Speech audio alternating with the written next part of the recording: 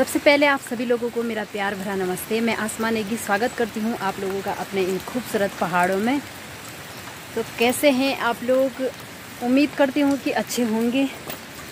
और आज मैं फाइनली बहुत दिनों के बाद आ चुकी हूँ आप लोगों के बीच में एक नए ब्लॉग के साथ, एक नए वीडियो के साथ। और अभी दिन का टाइम हो चुका है 11 बजे का टाइम हो गया है। हमारे यहाँ पे आज देखिए बहुत ज़्यादा बारिश हो रही है, सुबह से लगातार बारिश हो रही है। चारों तरफ़ कोहरा लगा हुआ है। वैसे हमारे खूबसूरत पहाड़ तो नहीं दिख रहे हैं, लेकिन कोहरा लगा हुआ है ना, सुबह से इतना ज़्यादा कोहरा लगा हुआ है कि बारिश भी बहुत ज़्यादा हो रही है। अभी भी बहुत बारिश हो रही है और मैं जा रही हूँ पानी के लिए यहाँ गदेरे में। ये देखिए। अपने धारे पे पानी के लिए जा रही हूँ। और मैं घास लेके भी आ चुकी हूँ।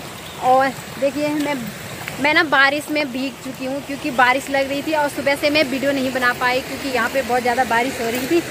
तो इसलिए मैं सुबह से वीडियो नहीं बना पाई। और यहाँ पे मैं आई हूँ, यहाँ पे पानी के लिए। ये ये वाला हमारा धारा ये है। यहाँ से भरना है मुझे पानी। वो तो पहली वीडियो में भी आप लोग देख ही चुके हैं। लेकिन आजकल यहाँ पे बारिश की वजह से बरसात के मौसम में यहाँ पे बहुत ज़्यादा पानी आ रहा है।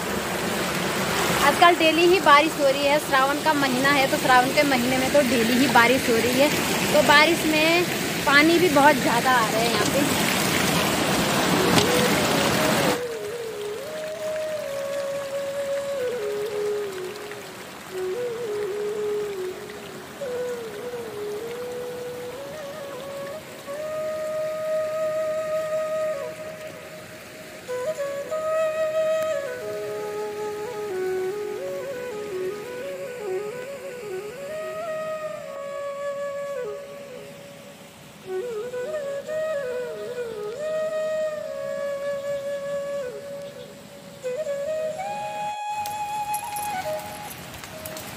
और यहाँ पे देखिए, हमारा झंगोरा भी, झंगोरे की फ़सल होगी, धान की फ़सल होगी, एकदम से बिल्कुल तैयार हो चुकी है, तैयार हो चुकी है। मतलब झंगोरे पे बाल भी आ चुकी है धान पे भी बालियाँ आ चुकी हैं। हमारे गढ़वाली में इसे बोलते हैं कि झंगोरो जीवन मतलब होता है कि बालियाँ आ चुकी है। जो मैंने पिछली वाली लास्ट वीडियो डाली थी, उसमें ये वाला हमारा ये जो खेत है, इसका वो झंगोरा कितना छोटा था। और अभी देखिए, सारे झंगोरे में एकदम से बालियाँ आ चुकी और कुछ ही टाइम पे ये पक पक जाएँगे, कुछ ही टाइम पे पकना स्टार्ट हो जाएगी पूरी फ़सल तैयार हो जाएगी। एक महीने के बाद पूरी फ़सल हमारी, धान की और झंगोरे की फ़सल पूरी तैयार हो चुकी जाएगी। और अभी धान की, झंगोरे की फ़सल हमारी अभी हम हमारी फ़सल अभी तैयार भी नहीं हुई और सुअर देखिए, आने लग गए हैं। सुअर स्टार्ट होने लग गए हैं। जैसे ही हमारे धान फ़सल तैयार होगी ना, ऐसे ही सुअरों का आना भी शुरू हो जाएगा। और मैं आप लोगों को एक चीज़ और दिखाती हूँ। यहाँ पे देखिए, चार पाँच दिन पहले रात को बहुत तेज से हवा हुई, बहुत ही तेज वाली हवा हुई और हवा के कारण देखिए हमारा जंगोरा कैसे हो गया है। बहुत ही अच्छा हुआ था, लेकिन देखिए, हवा के कारण यहाँ पे देखिए सारा कितना नुकसान हो गया है। इसका। ऐसा ऐसा था हमारा झंगोरा और हवा के कारण ऐसा हो गया है। फिर ऐसे ही ऐसे ही जंगली जानवर भी यहाँ पे ऐसे ही नुकसान करते हैं। जैसे ही हमारी फ़सल तैयार होती है, ऐसे ही जंगली जानवर नुकसान करना शुरू कर देते हैं। डाली डाली फूलों की, तुझको बुलाए रे मुसाफिर, मेरे उत्तराखंड में। बादलों के ओढ़ के ओढ़नी वादियाँ, गीत सुनाए मीठे मीठे मेरे उत्तराखंड में। अरे पिजोरे पिजोरे मेरे पहाड़ को, अरे पिजोरे पिजोरे मेरे पहाड़ को, ठंडो पानी ठंडो पानी। ठंडो पानी ठंडो पानी डाली डाली फूलों की, तुझको बुलाए रे मुसाफिर मेरे उत्तराखंड में। बादलों के ओढ़ के ओढ़नी वादियाँ, गीत हमारे हड़तोली में जितनी भी गौशालाएँ हैं, सारी गौशाला के छत में कद्दू की बेल आपको ज़रूर दिखेगी और ये वाली हमारी गौशाला है और इसके छत में भी कद्दू की बेल है, लेकिन अभी इस पे फूल लगे हैं।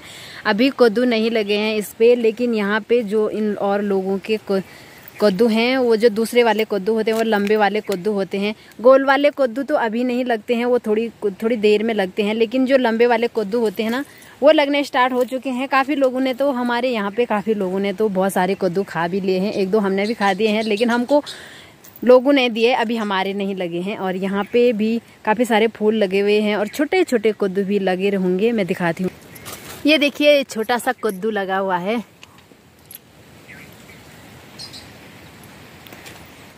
लेकिन ये हमारा नहीं है, ठीक है? ये किसी और का है, लोगों का है। देखिए सारे लोगों की गौशाला के छत में कद्दू की बेल, लौकी की बेल ये मीठे वाले करेले हो गए। सारी चीज़ें यहाँ पे लोगों ने अपनी गौशाला के आगे पीछे बो रखी है। ये देखिए, हर जगह दिख रही है ना आपको? कद्दू, लौकी की बेल हर जगह पे दिख रही है। और हमारी गाय भी देखिए, आजकल हरी घास खा खा के कितनी मोटी हो गई है ना? और ये वाली बछिया भी काफ़ी बड़ी होगी है। बिकाऊ है, ठीक है? अगर किसी को ये बछिया चाहिए होगी तो मुझे कमेंट में बता देना। ये वाली बछिया बिकाऊ है। कोई भी खरीद सकता है। बहुत अच्छी है। छोटी वाली बछिया भी देखिए, आजकल काफ़ी बड़ी हो चुकी है। तीन महीने की होगी है ये बछिया। काफ़ी बड़ी हो चुकी है। घास भी खाने लगी है। पानी, घास, रोटी, चाय, सब खाती है। पर उसको उस छोटी वाली बच्चिया को मैं बारिश में बाहर में नहीं निकालती हूँ, क्योंकि वो बीमार पड़ जाएगी ना। अभी छोटी है, लेकिन ये दोनों तो बड़े हैं, ये बारिश में भी भीग सकते हैं। तो चलिए थोड़ी सी काम की बातें कर लेते हैं। सबसे पहले आप सभी लोगों को बहुत बहुत ज़्यादा धन्यवाद कि आप लोगों ने इतने दिनों तक वीडियो ना डालने के बावजूद भी मेरी वीडियो को बहुत ज़्यादा प्यार दिया, बहुत ही सपोर्ट किया। उसके लिए बहुत बहुत ज़्यादा धन्यवाद।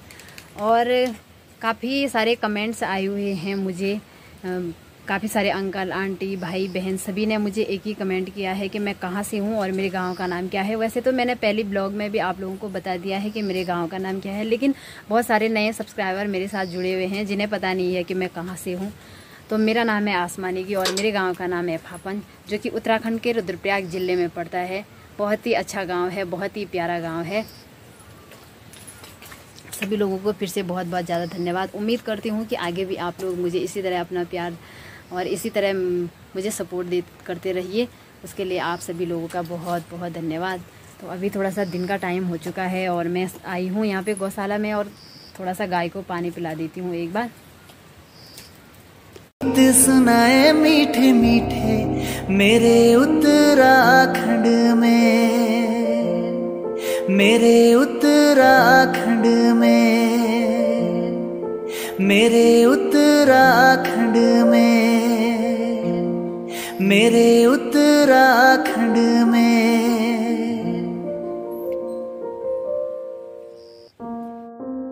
डाली डाली फूलों की